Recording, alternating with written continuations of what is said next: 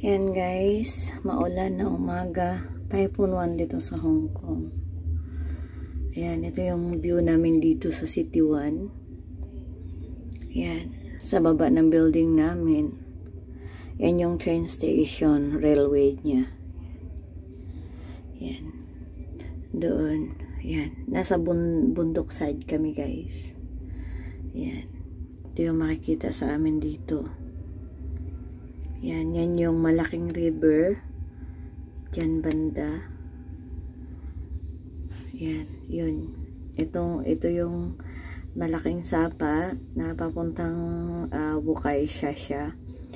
From Bukay siya papunta dito sa amin pam uh, Bukay siya Maunsyan yan, may pinakamalaking sapa kami dito guys yan yan pag may nasusunog na bukid dyan sila nag nag iigib ng tubig at dinadala dun sa ano gamit ang helicopter na dinadala dun sa ano bukid binubuhos. Ayan dito masama ang panahon kasi nga maulan at bagyo kami signal number 1 yan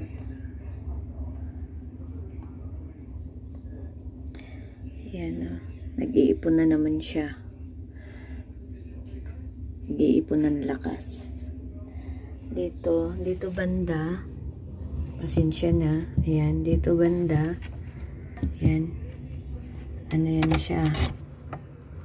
Yan, tingnan natin kung hindi ba maano yan yan, malakas.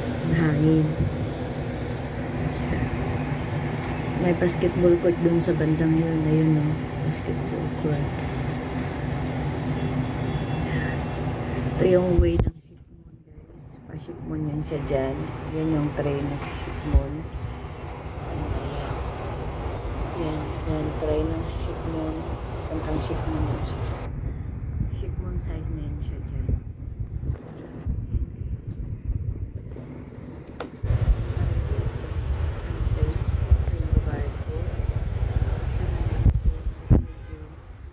Kasama ng panahon.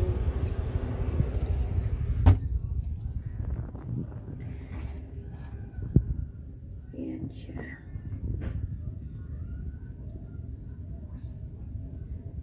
Malalaking sapa, mga malalaking building, tsaka bukid talaga siya.